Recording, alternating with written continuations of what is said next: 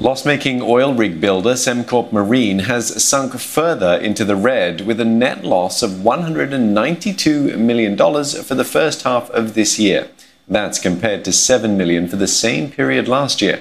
CEO Wong Weng Sun has volunteered to take a 50% pay cut, while senior and middle managers will take between 10 and 15%. The firm says production had been stopped and projects delayed because manpower was cut during the circuit breaker. Only its repairs and upgrades arm saw a profit on the back of higher margin projects in the first quarter of the year. But all other segments posted losses, dragging total revenue down 41% in the first half of this year to 906 million. And the firm also hasn't secured new orders because volatile oil prices have forced some producers to defer spending Sembcorp Marine says existing projects will continue even as it diversifies into clean energy and improves its yard capabilities. For now, it's getting liquidity through a $2.1 billion rights issuance and a demerger from Sembcorp Industries.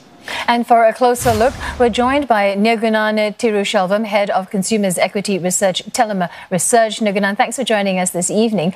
Were you surprised that Sembcorp Marine suffered a net loss of $192 million, you know, considering they lost $7 million in the same period last year?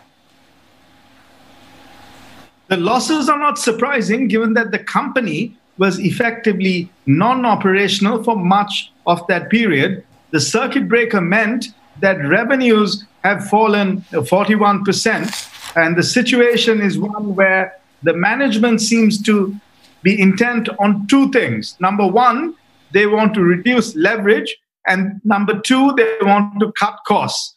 If they achieve these two objectives to any degree of uh, certainty, it is likely that a lot of the problems could be addressed. Well, aside from the production stand down, what were the other factors uh, that played a role in Sembcorp Marine's losses? Did volatility in oil prices also uh, play, were they also a factor in this? Absolutely. The degree of volatility in the oil price that we saw in the first half of the year has not been seen since the 2008 crisis. In fact, even in the 2008 commodity collapse, we didn't see oil prices go into negative territory. So uh, the company uh, staying away from getting new orders is not entirely surprising. Nirgunan, with the easing of COVID 19 measures in Singapore, how do you see Sembcorp Marine's recovery ahead?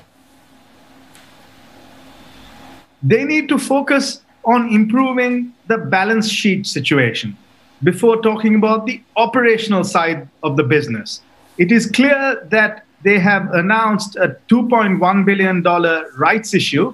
If this rights issue is successful, it is likely that a lot of the leverage issues would reduce. They have about $4 billion of debt. The rights issue could effectively cut the gearing levels by about 40%, which is an encouraging move by the management.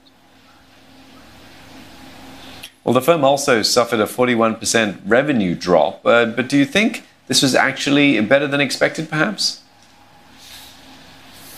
The revenue drop, yes, is within the realms of uh, improvement in the sense that you would have felt, given the severity of the lockdown, given the stringent measures taken by governments along all over the world, that the drop in revenue would be possibly more than 41%. But one needs to just focus on the balance sheet issues as opposed to the operational issues as we look at this stock.